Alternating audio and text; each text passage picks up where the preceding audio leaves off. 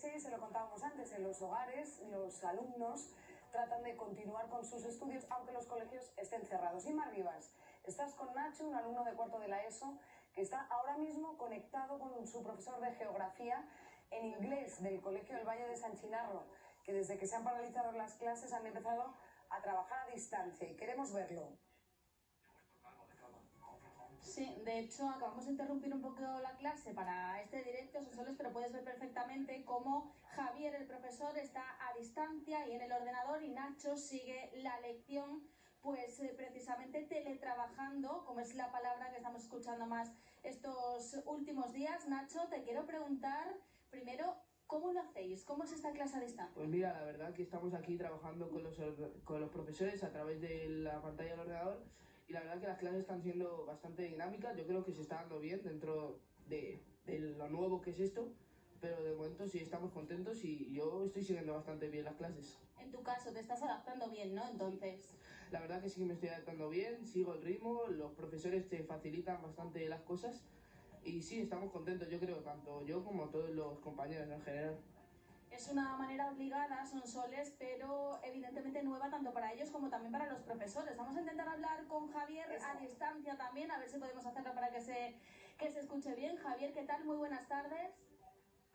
Buenas tardes. Bueno, lo primero que te quiero preguntar, esto es algo nuevo también para vosotros, ¿cómo estáis llevando este nuevo método a distancia?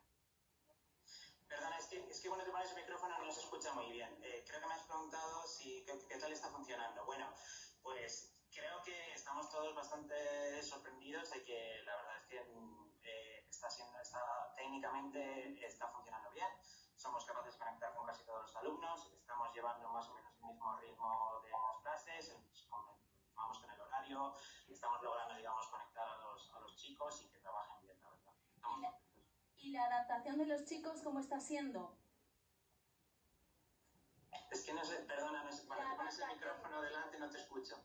La adaptación de los chicos, ¿cómo está siendo? No se te escucha nada, pero lo siento, ¿eh? Bueno, parece que es, muy complicado, González, es cierto que a través de, del ordenador... Claro, tienes que quitar el micro, que si no se, se tapa el altavoz del, del ordenador. Es que no escucho, no, te escucho, perdón. No, es que aunque no... No sé si me escuchas así, Javier. Eh, perdón, lo siento mucho, es que no te, no te estoy escuchando bien. Bueno, te pones el micrófono adelante y no escucho. Eh, vamos, que simplemente que quería comentar pues que sí que está funcionando bastante bien, que los alumnos están contentos también, como Nacho te ha dicho, ¿vale? Y, mm, y nada, pues eh, que por ahora estamos trabajando más o menos el mismo ritmo, eh, eh, los recursos, digamos, que tenemos a nuestra disposición están funcionando bastante bien, evidentemente todavía tenemos muchas cosas que aprender y que mejorar, pero, pero estamos.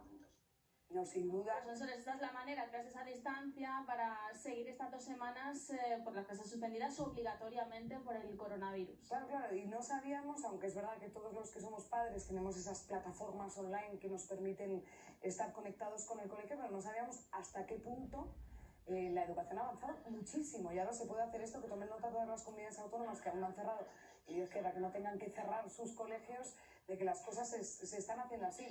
Pedimos disculpas por interrumpir esta clase a distancia del profesor de geografía con Nacho, su alumno, que está mm, aprovechando el tiempo así. Nacho, no se te ocurra sacarme la nota que me voy a preocupar por tus resultados académicos este año. Gracias también a ti, Marribas. Bueno, pues esto es lo que antes hablábamos, nuevas fórmulas, nuevas formas de adaptarse a la normalidad. Insistimos, todas las comunidades probablemente tengan que tomar nota de esto, ¿no? Sí, serán avances. Yo creo que se quedarán eh, avances incluso para nosotros los periodistas, que hemos visto la conexión de la conexión de la conexión en este momento, ¿no?